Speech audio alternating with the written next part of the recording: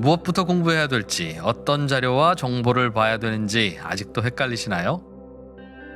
post 코로나 시대에 방황하는 20대부터 본업에서도 투자에서도 성과를 내고 싶은 30대, 노후를 준비하는 40대, 50대까지 주식 투자의 세계에 입문하신 분들을 위해서 3프로TV가 준비했습니다.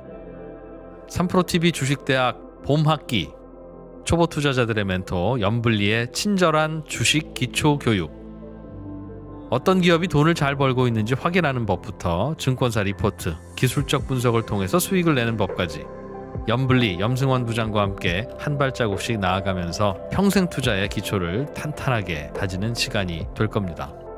3프로TV가 염블리의 친절한 주식 기초 교육과 함께 여러분의 성공 투자를 응원하겠습니다. 영상 아래 링크를 통해서 강의를 신청하실 수 있습니다. 네. 우리 염승환 부장님 모시도록 하겠습니다. 어서 오십시오. 네, 안녕하세요. 네. 어서 오세요. 지금 한 5, 6분 정도 남았고요. 아, 몇개 좀 그러면 뉴스 같은 거 좀 살펴보고 장 보러 갈까요? 예, 그래도 그 오늘 제일 중요한 이슈가 아까 이제 김프로님 얘기해 주셨지만 그 현대차고로 음. 투자한 거 관련해서 저희 당사에서 이제 유지웅 애널리스트가 유지웅? 예, 네. 코멘트를 해줘서 그 이제 정리해서 그냥 한번 말씀을 드리겠습니다. 그래서 금일 이제 언론 보도 통해서 현대차그룹이 미국 전기차 투자를 공식화를 했고요. 예. 현대가 그러니까 현대차그룹 기업 가치에 굉장히 긍정적으로 작용할 것으로 일단 전망을 했고요. 총 투자 규모가 8.4조 원 정도 되는 것 같고 여기에 전기차, 수소 인프라, UAM까지 이제 도시명 항공 모빌리티까지 포함이 되어 있습니다. 근데 가장 중요한 건 역시 전기차 사업이다. 음. 이렇게 보시면 되겠고 이제 이 전기차 투자를 핵심 주가 결정 변수로 이제 보는 배경에는 네. 현대차 그룹이 이제 아까 얘기해 주신 대로 지금 MS가 그러니까 시장 점유율이 10% 지금 넘었잖아요. 그렇죠. 그래서 이제 역대 지금 최고치 최고죠. 예전 차화정 장세를 이제 그 우리가 경험했던 분들은 아마 그때 10% 넘은 거 아마 맞아요. 아실 거예요. 예. 그 이후 이제 처음인데 근데 이제 현 상황에서 이 내연기관 라인업만 가지고 MS 그러니까 10%를 계속 유지하기가 쉽지 않다는 거죠. 음. 확대하기도 여기서는. 그러니까 현대차 뭐 위에 도요타도 있고 하니까 네. 내연기관 외에 뭔가가 있어야만 더 늘어날 수가 있는 건데 그렇기 때문에 이번 전기차 투자는 굉장히 좀 긍정적이지 않나 이렇게 좀 적어주셨고 그리고 아이오닉 5라든가 제네시스 EV 또 기아의 EV6 이런 이제 기 개발 차량들을 기반으로 해서 단숨에 최대 이제 경쟁 집단이죠 그 일본 메이커들 대비해서는 좀 이제 미국 시장에서도 우위에 서게 된다. 이렇게 좀 언급을 해줬고요. 그 다음에 이제 바이든 정부가 아직 결정한 건 아닌데 6월과 7월 안에 이 전기차 세금 크레딧 확대한 발표 가능성이 좀 있대요. 현재 20만 대로 지금 제한이 돼 있거든요. 보조금을. 그러니까 테슬라 같은 경우는 지금 20만 대 이상 파니까 보조금 지급을 이제 못 받게 되는데 네. 한 메이커가 20만 대 이상으로 팔게 되면 이제 그거는 보조금 못 받는데 이거를 60만 대까지 아마 확대한다라는 그런 얘기가 좀 있나 봐요. 그래서 6월이나 7월에 이게 발표가 되면은 또 한 번에 이제 굉장히 좋은 좀 모멘텀이 좀 될 것으로 는 보이고 그리고 자동차 메이커들은 일단 이제 본격적으로 전기차 시장에 진입을 할 텐데 이 중에서 경쟁력 있는 업체는 테슬라, 폭스바겐, 현대, 기아, 포드 요 정도 수준에 좀 불과하다라고 네. 좀 언급을 해줬습니다. 그래서 이건 근데 이번 투자는 현대 기아 완성차뿐만 아니라 이제 다른 부품사들한테도 그러게, 예. 이제, 예, 같이 이제 동반해서 가니까 좋을 것으로 보이고 2025년 기준으로 현재 이제 공식적인 업체별 전기차 판매 가이던스는 네. 폭스바겐이 300만 대고요. 현대 기아가 110만 대, GM이 100만 대, 도요다가 일단 50만 대 정도로 잡혀 있습니다. 2023년, 25년 기준. 25년. 예. 그러니까 이 완성차 업체들이 발표한 가이던스 네. 예, 따르면요. 그래서 근본 투자는 근데 최소 50만 대 이상의 생산 능력을 더 늘리게 되는 거기 때문에 음. 일단 폭스바겐을 따라잡을 수 있는 결정적인 변수가 될 것 같다. 이렇게 언급을 해주셨고 음. 또 추가적으로 이제 코멘트 해준 게 일단 전기차에 들어가는 비중이 한 50% 4.2조 정도가 전기차 공장 증설에 들어갈 네. 것으로 보였고 여기에 일반적으로 연간 30만 대 증설할 때 1.5조 원이 들어간대요. 음. 그렇게 따지면 90에서 100만 대 정도 더 늘어날 수 있는 수치라고 합니다. 이게 생산량이. 네, 그렇게 따지면 뭐 미국에서 만약에 현지할 100% 가정하면 현재 미국에서 현지 판매량이 양사 합산 기준으로 145만 대 정도 되나 봐요. 네. 내연 기관차. 근데 이게 어쨌든 연간 기준으로는 180만 대까지 늘어날 수가 있다고 합니다. 그러면 10% 이거 넘는다는 의- 의미니까 그래서 굉장히 좀 긍정적인 좀 소식이 아닌가 이렇게 좀 보셔도 좋을 것 같습니다. 네. 그리고 그리고 이제 또 예, 2분 정도 남았는데 오늘은 뭐 특별한 지표는 없고요. 미국에서 이제 4월 소매 판매가 좀 발표가 되고 음. 그다음에 뭐 넷마블 실적 발표가 조금 있으니까 예, 참고해 주시면 좀 좋을 것 같습니다.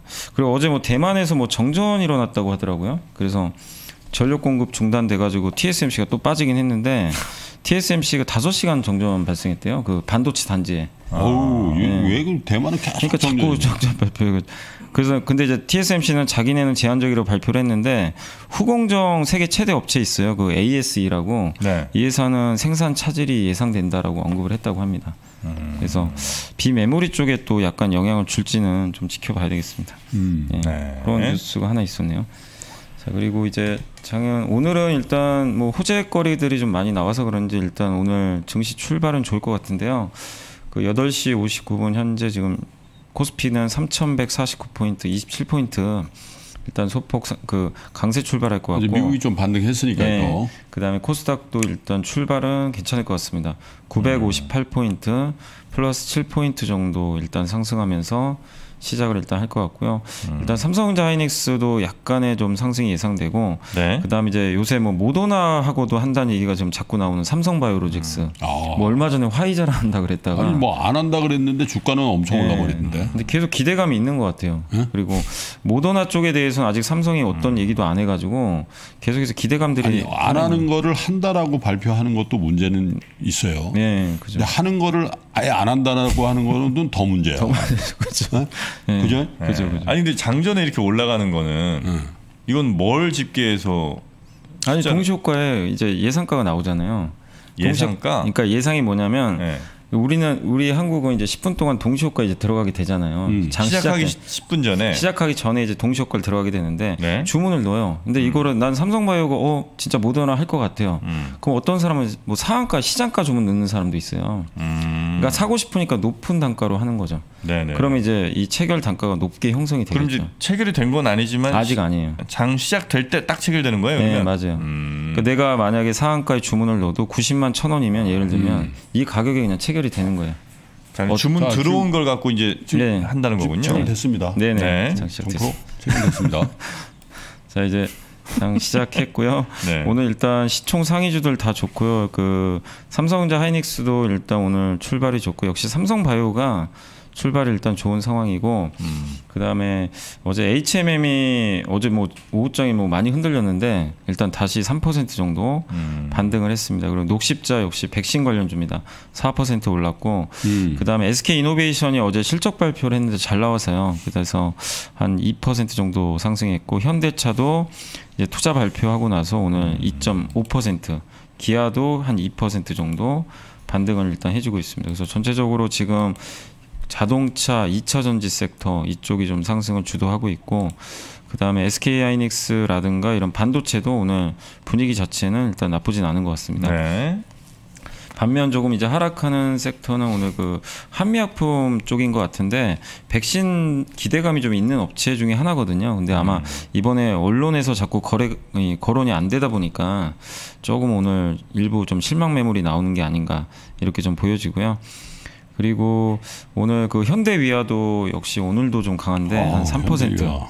예, 추가적으로 상승했고 예, 그리고 타이어 회사죠. 금호 타이어도 오늘 한 3% 정도 반등을 했습니다. 그리고 예, 반도체 비메모리 파운드리 업체죠. DB하이테 또 어제 실적 발표했는데 좀 잘 나왔던 NHN 이런 기업들이 한 2에서 3% 정도씩 일부 상승을 하면서 거의 다 뭐 고르게 반등을 조금 일부 해주는 것 같습니다. 반면 이제 현대차 어제 그룹이 좋네요. 네 역시 좋습니다. 이거 좀 기다렸던 호재라고 위안은- 생각하는 것 위안은. 만약에 현대차가 그 정설하면 위아가 까는 거 아니에요? 장비. 위아는 공장. 위아가 이제 공작 기계 하니까 하니까. 예, 일부 들어갈 수도 있죠. 아니 그 공장을 아- 여태까지 안 지어서 매출이 줄었었던 회사인데 네. 대규모 이제 저 공장 신증설에 대한 발표가 있으면 현대차 그룹 내에서 제일 좋은 게 위아 아니에요? 위아 같은 그러니까 이 그러니까 공장에 들어갈 때 네. 뭐 인프라도 깔아주고 그러니까. 아니면 이제 그런 장비하는 회사들이 당연히 좋을 수밖에 없죠. 뭐 글로비스라든가 이런 것도 물류 대주고 그러니까 사실 현대차 그룹 그냥 다 호재라고 봐야 될 것 같아요. 근데 그. 글로비스는 글로비스는 좀 덜 호재 아닌가? 왜냐면 글로비스는 사서 날 실어 날르는 건데. 예, 근데 이제 미국에서 해버린다는데. 현지 공장이면 네. 근데 이제 부품 거 같은. 것들을 이제 여기 한국에서도 네. 일단은 보내줘야 되거든요. 음. 예. 그래서 글로비스도 나쁘진 않다고 하더라고요. 네, 네, 예. 네. 근데 전체적으로 다 호재는 맞는 음. 것 같습니다. 예. 그리고 오늘은 좀 빠지는 쪽은 그 대상 같은 어제 음식료 업체들이 엄청나게 올랐더라고요. 음. 뭐 풀무원 대상 이런 기업들이 이 곡물가 상승 이제 기대감으로 약세장에서 돋보이더만 음식료. 예, 음식료가 정말. 네? 그리고 오늘 코스닥에서는 역시 반도체가 어제 그 삼성 SK가 반도체 추가 투자 뭐 한다는 그런 얘기가 나와서 네. 어제 미국에서도 반도체 기업들이 급등했거든요. 그래서 오늘 국내에서도 반도체 관련 기업들이 일단 굉장히 좋습니다. 뭐 원익 IPS라든가 테스나라든가 SFA 반도체. 그래서 오늘은 코스닥은 일단 기술주들이 상승을 그런 게 일단 다 주도하고 장비 있어요. 업체잖아요. 예, 맞습니다. 증설에 대한 거. 예, 기대감이 있어요. 그리고 오늘 일부 게임주 게임주 펄어비스, 컴투스 이런 기업들은 좀 빠지고 있고요. 백신 CMO 관련해서 제일 셌던 업종이 기업이 이제 ST팜인데 이 기업도 오늘은 뭐 일부 차익 매물 나오면서 음. 좀 빠지고 있습니다. 그리고 테스가 이제 이거 3D 낸드 장비 만드는 회사인데 제일 좀 센 것 같아요. 한 6% 정도 올랐고 실적 발표했던 네오이즈도 이 게임 회사긴 한데 오늘 오랜만에 한 6% 정도 그렇군요. 일단 반등을 했습니다. 그래서 네. 코스닥도 뭐 전체적인 분위기는 굉장히 좀 괜찮은 것 같아요. 그래서 다시 정리해드리면 코스피가 일단 오늘 갭상승이 나왔고 3,144포인트 0.7% 정도 상승한 지금 수치를 보여주고 있고요. 코스닥이 좀 더 좋습니다. 960포인트 0.9% 정도 상승세를 좀 이어나가는 모습이고 오전에 수급적인 부분은 개인 투자들이 어제도 뭐 외국인 매물을 받아서 좀 많이 사주긴 했는데 오늘도 굉장히 공격적입니다. 2,500억 정도 아침부터 네. 매수하고 있고 여전히 외국인 기관은 지금 포지션을 바꾸고 있지는 않는 것 같아요. 어, 제도 오후에 그냥 대량 매도로 돌변을 했는데 음. 오늘도 오전에 천억 이상 일단 외국인 천억 기관도 한 천억 이상 일단 매도를 하면서 네. 여전히 일단 비중을 좀 줄이는 모습인 것 같습니다.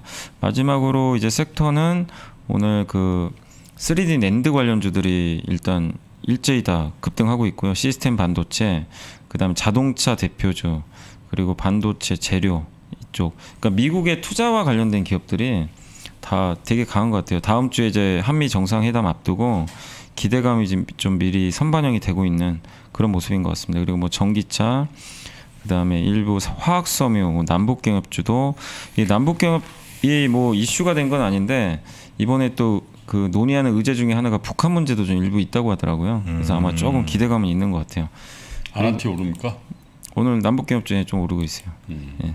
그리고 오늘 좀 하락하는 섹터는 역시 좀 음식료 업체들 일부 그 차익 매물 나오고 있고 폐기물 관련주 이쪽 섹터 좀 빠지고 있고요. 뭐 그 정도 제외하고는 아무튼 오늘 전 업종이 다 일단은 오랜만에 반등하고 있습니다. 불안해들 하네요 보니까. 예, 아직은. 예? 미국 시장 반등했다고 쫙 그게 아니고 예, 그게 불안불안해 보니까 아직도. 아직은 심리 자체가 예. 예. 오늘도 개인들이 다 개인 사는 투자자 어떻게 하고 있습니까? 지금 많이 사고 있어요. 아침부터 한 4천 많이 원 가까이 있어요? 사고 있습니다. 음. 합쳐 양시장 합쳐서 음. 이제 개인 투자분들은 일단은 계속 좀 받겠다는 의지고 근데 이렇게 주식을 매수하면 예탁금이 줄어야 될 정상이잖아요. 음. 근데 예탁금이 다시 71조까지 늘어났어요. 67조까지 빠졌다가 지금 계속해서 좀 돈이 더 들어오고 있습니다. 이 주식시장으로는 개인 투자분들 그래서 개인 투자분들의 심리는 그렇게 뭐 아직까지는 나빠 보이지는 않는 것 같습니다. 자 그러면 어, 증권사 리포트 한번 쭉 보겠습니다. 예. 일단 이제 그 요거 하나 투자증권에서 나왔던 보고서인데 이제 경기 민감주에 대한 이제 투자 전략 얘기인 것 같아요. 이제 시황 담당하신 분이 쓰시긴 한 건데 박승영 애널리스트가 이제 썼고요. 인플레가 만약에 일시적이라면 그러니까 지금 현재 그 글로벌 금융시장의 가장 중요하고 설명력이 높은 단어 중에 하나가 이제 일시적이라는 이제 단어가 많이 나오고 있는데 오래가지 않는 이제 뭐 뜻이라고 하죠. 그래서 연준 위원들의 이제 발언에 끝없이 이제 등장을 하고 있는데 음. 물가 상승에 대해서 계속 일시적이라는 이제 코멘트를 좀 달고 있잖아요. 그렇지만 이제 어쨌든 올해 하반기에 현재 물가가 계속 오르긴 하겠지만 내년에는 2% 부근으로 그러니까 2.5%까지 넘을 수도 있지만 내년에 조금 낮아지지 않을까 이게 좀 컨센서스인 것 같습니다. 그래서 지금 현재 시장은 근데 극명하게 나누는 게 지금 어떻게 보면 이제 이게 일시적이냐 아니면 시장 참가자들도 일부는 일시적이 아니다 이렇게 좀 나눠지면서 시장은 굉장히 좀 혼란스러운 것 같아요. 근데 이제 일시적인 인플레 영향이 국내 기업 이익에도 이- 일단 녹아 있다고 합니다. 올해 영업이익을 이제 전년도에 흑자를 기록한 기업들과 적자를 기록한 그 기록한 기업들로 나눈 뒤에 다음에 영업이익을 보면은 이제 이익 기여도를 확인할 수 있는데, 그러니까 첫 번째가 전년도 흑자를 기록한 기업들이 지금 올해 뭐 당연히 영업이익이 이제 또 증가했을 때 그 합계치를 좀 이제 계산을 해봤는데 그게 한 58.8조 원 정도가 일단은 좀 증가를 할 것으로 좀 적어주셨고 적자를 기록한 기업들이 다음에 영업이익 이제 합계도 나타내는데 그 영업이익 합계가 작년에 적자일 때가 7.9조 원 적자를 봤대요. 근데 올해 6.9조 원 정도 영업이익을 기록할 것으로 예상을 하고 있다고 합니다. 이렇게 되면 증분이 한 14.8조 정도 되거든요. 그렇게 보면 올해 영업이익 전체 증분 중에서 한 25% 네. 4분의 1 정도를 차지한다고 합니다. 음. 그래서 사실 이제 이 적자 기업들이 왜 중요하냐면 이렇게 이익이 늘어나는 사이클에서 당연히 주가도 올라가게 되는데 우리나라에선 또 이런 기업들의 비중이 되게 크잖아요. 제조업 또 고정비 비중이 높기 때문에 네. 주식시장의 특성상 이제 영업이익 레버리지가 크게 작용하긴 하는데 이런 이제 현상들 때문에 또 거기 금리 상승과 맞물려 가지고 시크리컬 경기 민감주들이 네. 되게 좀 강했는데 반대로 생각하면 이게 만약에 이 인플레가 일시적이라면 음. 경기 민감주는 이제 꺾인다는 거죠. 올해 하반기까지는 좋을 수 있는데 네. 내년에 인플레 꺾이면 이게 인플레가 계속 이어지면 계속 가는 건데 그러니까 그런 과정 그러니까 이 FMC의 인플레가 일시적이라는 주장에 안도하면서 시크리컬의 이익이 지속될 것을 기대하는 것은 상당히 모순된다. 음. 예. 그러니까 이걸 좀 고민해 보라는 그런 내용인 것 같아요. 그러니까 네. 경기 민감주의 이익은 계속 좋겠지만 음. 역시 이 역시 일시적인 거 아니냐. 그러니까 약간은 좀 경계성 좀 발언을 하신 것 같긴 해요. 음. 근데 지금 당 대부분은 요즘에 너무 막 경기 민감주 좋게만 다들 얘기를 하시니까 음. 그래서 이런 것도 한번 생각해 보시면 좋겠습니다. 그래서 확실한 건 인플레가 계속 이어져야 민감주한테 좋은 건 맞아요. 음. 근데 그게 나중에 진짜 꺾인다면은 지금의 상승세도 좀 둔화될 수 있으니까 네. 한번 민감주 하시는 분들은 물가도 계속 좀 체크를 잘 해보셔야 될 것 같습니다. 네. 예. 그 다음에 이제 요거는 SK증권의 그 한대훈 애널리스트가 다음 주에 볼만한 차트라고 이제 이제 그 전망을 좀 해주신 자료인데 음. 최근에 이제 아까 말씀드린 대로 인플레 압력이 여전하고 투자자들 간에 이제 줄다리가 너무나 지금 심가, 심한 상황이다 보니까 변동성이 음. 되게 커지고 있는데 연준 입장에서도 지금 상당히 긴축을 또 하기에는 어쨌든 지금 부담스럽죠. 자산 시장이 급락할 수도 있기 때문에 그래서 쉽지 않은 지금 상황인데 그 과정에서 어쨌든 변동성이 계속 나옵니다. 그래서 또 시장이 유동성에 의해서 올라왔기 때문에 이런 유동성 모멘텀 약화는 분명히 좀 부정적인 요소다. 그래서 당분간 조금 이제 변동성 확대되겠지만 다만 실적이 워낙 가파르게 증가하고 있기 때문에 하단은 단단할 것 같다. 그러니까 결국 좀 박스권 흐름을 좀 전망을 해주셨고 다음 주에 봐야 될 건 역시 반도체 같아요. 반도체 업종의 중요한 한 주인데 5월 20일 날 뭐 기사에 나왔죠. 그 미국 상무부가 반도체 칩 부족 문제 대응하기 위해 업계 회의를 이제 소집을 했고요. 아마 공급만 논의를 할 것 같은데 음. 한미 정상회담이 하루 전이니까 아마 뭔가 큰 발표가 있을 수도 이- 있는 거기 때문에 다음 주에는 반도체 섹터가 어떻게 움직이냐에 따라서 국내 증시가 좀 낙폭을 또 많이 할지 네. 아니면 또 실망 매물이 나올 수도 있는 거니까 음. 다음 주는 미국에서 들려올 소식을 좀 잘 체크를 해보자. 이런 좀 의견인 점은 좀 참고하시면 되겠고 네. 참고로 다음 주에 이제 주요 이벤트 중에서는 어쨌든 이제 20일 날 뭐 그 회의가 있고 21일 날 이제 바이든 대통령과 이제 문재인 대통령 이제 한미 정상 회담이 있고요. 그다음에 이 5월 17일 날은 영국이 해외 여행을 허용할 거라는 그런 발표가 예정이 돼 있나 봐요. 어. 영국 영국은 좀 거의 집단 면역 상태라고 합니다, 거의. 예. 그래요. 그래서 월요일 날 다음 주에 실제 발표될지 한번 보세요. 제일 심했었는데 예? 총리도 걸려 뭐 예? 예, 정말 심했던 나라인데 70% 정도 면역됐다는 얘기가 있더라고요. 약이 좋긴 좋구만. 예? 아니 또그 심각하니까 더 빨리 뭘 했겠죠 뭐. 예. 에이. 영국이 또 제약 강국이다 보니까 예. 백신도 그냥 바로 확보를 한 것 같습니다. 네. 예. 아 우리도 바이오 강국인데. 자 네, 그리고요. 그리고 이제 요거는 이제 흥국증권에서 나온 보고서인데 음. 시장과 관련해서 이제 요거예요. 한번 좀 간단히 설명드리면 연준은 테이퍼링이 당장 어렵다고 하는데 음. 왜 자꾸 나스닥은 하락할까? 예, 거기에 대해서 이제 적어주신 건데 그 연준의 이제 완화 정책에도 불구하고 지금 하락 압력이 지속되는 거는 언젠가는 결국 연준이 긴축할 거 아니냐 음. 이것 때문이다라고 좀 적어주셨고 근데 증시는 이제 그걸 반영하기 시작했대요. 네. 그래서 지금 빠지고 있고 그 다음에 가장 큰 요인은 이제 올 여름에 형성될 집단 면역이라고 좀 봤는데 4월 미국 고용 쇼크에도 불구하고 지금 이제 이런 집단 면역이라든가 상품 가격 상승세를 고려했을 때는 음. 이 필자는 그 하반기에 연준의 긴축 전환 뭐 필요성은 일단 높다고 좀 판단을 해주셨습니다. 그래서 하반기에 어느 정도 긴축에 관련된 얘기가 좀 나올 수는 있다. 그 점은 좀 체크를 해보시면 좀 좋을 것 같고. 네. 근데 시장은 일단 그걸 받아들이고는 있어요. 지금 현재 음. 그 과정을. 예. 그래서 지금 주식시장이 이제 이 연축의 긴축 전환 관련 불확실성이 이제 진입했다고 보고 불확실성이 일단 거칠 때까지는 시장이 이제 탄력적으로 상승하기는 좀 쉽지 않을 음. 것으로 좀 보인다. 그러니까 아까 뭐 대부분의 애널리스트 의견과 비슷해요. 음. 이렇게 변동성은 좀 불가피할 것 같다. 네. 예. 그리고 다만 여름까지 연저점을 화해하는 뭐 강한 증시 하락 가능성은 높지 않다고 보는 이유는 연저점이 아마 2,950 정도 될 거예요. 음. 그게 올해 초 아마 저점이 그 정도. 보는데, 예, 그러니까 3,000 이하로 내려갈 가능성은 별로 없다는 얘기죠. 왜냐하면 물가 지표도 일반 경제 지표처럼 3분기 이하 이후에는 분명히 둔화될 것으로 보이기 때문에 인플레 논란은 조금 잠잠해질 가능성이 있다 하반기에는 음. 그렇게 좀 얘기를 해줬고 그 다음에 지금 이제 큰 그림에서 보면 연준의 불확실성에 따른 조정은 매수 기회다. 그러니까 현재 주식시장을 전반전, 후반전, 연장전 세 개로 나눴는데 연, 전반전은 이제 거의 끝나간다. 그러니까 전반전이 뭐냐면 경기 침체에서 회복 기대감을 반영하는 고목. 한마디 유동성 장세죠. 네. 미리 이제 돈으로 올렸던 장세고 이건 거의 끝나간다. 그럼 가을쯤에 그 연준의 안정적 긴축 전환 표출 그러니까 연준이 음. 긴축으로 이제 전환을 했을 때 음. 후반전에 이제 그 돌입할 것으로 좀 보이는데 네. 후반전은 뭐냐면 통화 정책에 도움은 없어요. 음. 근데 자생적으로 경기가 좋아지면서 랠리가 나오는 그러니까 한마디로 실적 장세죠. 그러니까 네, 이게 네, 네. 우리 흔히 뭐 봄, 여름, 가을, 겨울 이게 사계절로도 나타내는데 여름 장세라고 보시면 좋을 것 같아요. 음. 예. 그래서 여름 장세가 사실 제일 세긴 하거든요.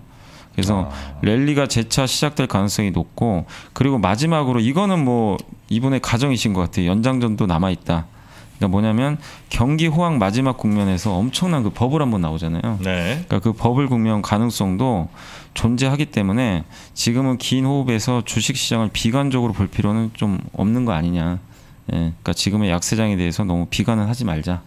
이런 좀 시각이니까 그 지금이 버블은 아니라는 거죠. 아니라는 예, 거죠? 아니고. 그러니까 지금 후반전에 이제 진입하려고 하는 것 같고 그 과정에서 약간 봄에서 음. 여름으로 넘어가는 약간 이제 계절이 바뀔 때 그 약간 이제 변동성 국면이라고 보시면 좀 좋을 것 네, 같아요. 한절기 네. 한절기. 네, 환절기 맞아요. 네. 그러니까 아침에는 우리 아침에는 좀 따뜻하게 입고 음. 근데 지금 오후에 지금 확실히 환절기더라고요. 오후에 환절기, 너무 환절기. 덥더라고요. 어제 엄청 더웠잖아. 예, 완전 네? 여름이에요. 어제 주말에 예. 춥답니다. 근데 예. 아 그래요? 그러니까 계속 이제 계절 변동이 왔다 갔다 하니까. 그 공시를 했네요. 뭐 했어요? 바이러스가 조선일보 등 언론 매체에서 그 오늘 아침에 발표했단 그러니까 보도한 모더나 백신 위탁 생산키로 했다는 이 기사는 음. 현재 확정된 바 없어 확인이 불가합니다. 아, 이 확정된 바 없어 확인이 불가합니다는 지난번에 발표한 건 사실 무근하고는 좀 그건 다른. 거네. 예.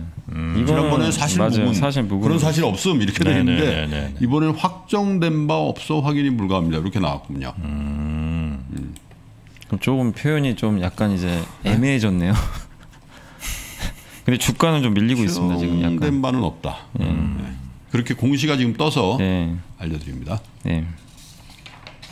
자 그리고 또 어떤 리포트 있었습니까? 그리고 이제 은행주들도 요새 좀 분위기 좋은데 네. 은행주에 관련된 보고서고 예 삼성증권에서 이제 김재우 애널리스트가 적어주셨는데 은행주들 볼 때 이제 은행이 아닌 지주회사를 보자 음. 이런 좀 보고서입니다. 그래서 이번 은행 실적 서프라이즈의 배경은 은행이 아니고 거기 관련된 비그 비 은행 회사들 있잖아요. 음. 금융지주가 많이 갖고 있잖아요. 뭐 증권사, 카드사, 캐피탈 네.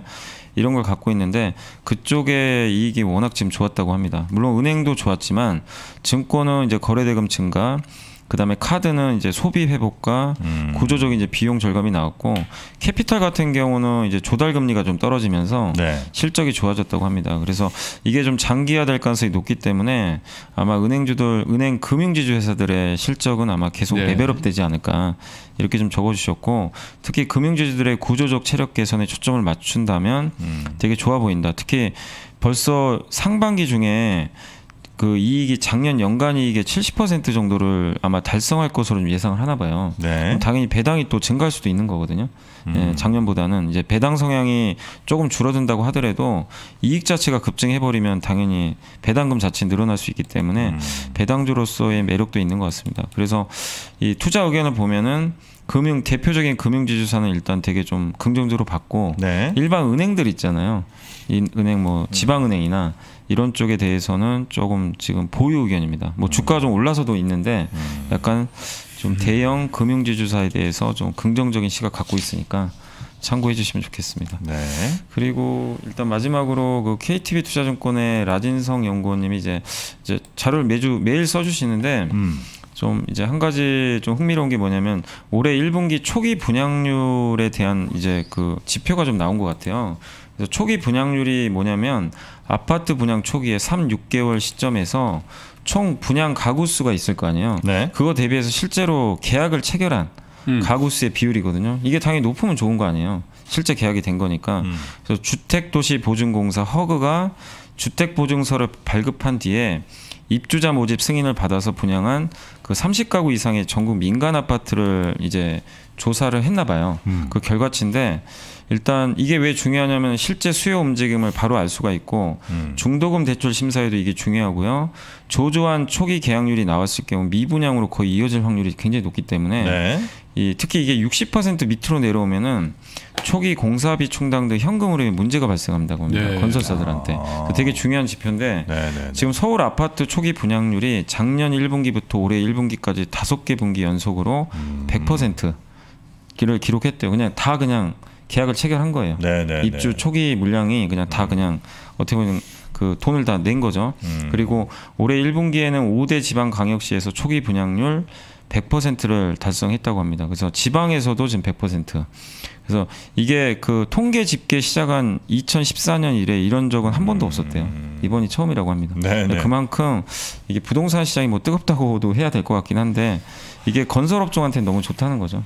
현금 흐름이 좋아지니까. 음. 네. 그래서 이게 건설사들 주택 부분 수익성이 굉장히 좋을 것 같다라는 음. 좀 보고서니까 참고하시면 좋겠습니다. 네.